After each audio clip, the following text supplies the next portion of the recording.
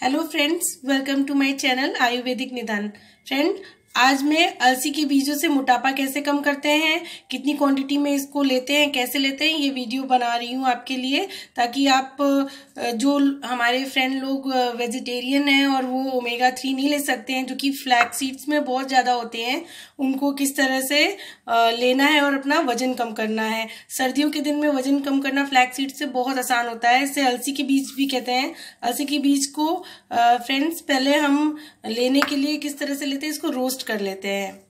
तो आइए फ्रेंड इसको रोस्ट कैसे करते हैं? ये करके दिखाएँगे हम आपको।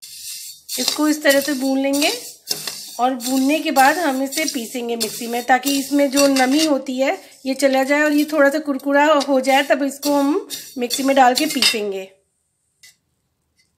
फ्रेंड्स इससे अब हम भूनने के बाद इसे पीसने के लिए हम डाल लेंगे।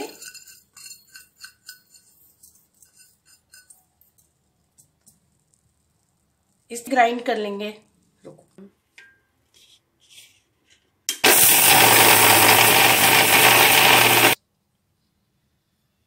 फ्रेंड्स हमने इसको ग्राइंड कर लिया है और ग्राइंड करने के बाद आप देख सकते हैं कि इस तरह का पाउडर हमें मिलेगा।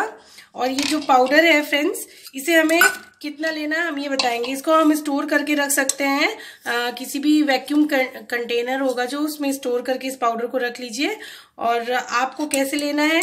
आपको इतनी क्वांटिटी में, इतनी क्वांटिटी में आपको खाली पेट लेना है और वो भी गुनगुने पानी के साथ इसको आप घोल के भी ले सकते हैं या फिर अगर आप खा के गुनगुना पानी सिप सिप करके पीजिए तो भी अच्छा होता है। इससे ज़्यादा क्वांटिटी नहीं लेना है। सुबह इतना लेना है और बेड टाइम जब भी आप सोने जा रहे हैं, उसके पहले आप इतना पानी में घोल के या फिर फाँक के ले सकते हैं। इससे आपका वज़न बहुत ज़्यादा कम होगा और विंटर में तो ये बहुत ही फ़ायदेमंद है। फ्रेंड्स अगर आपको फ़ायदा करता है तो प्लीज़ हमें कमेंट करके कमेंट बॉक्स में बताइएगा।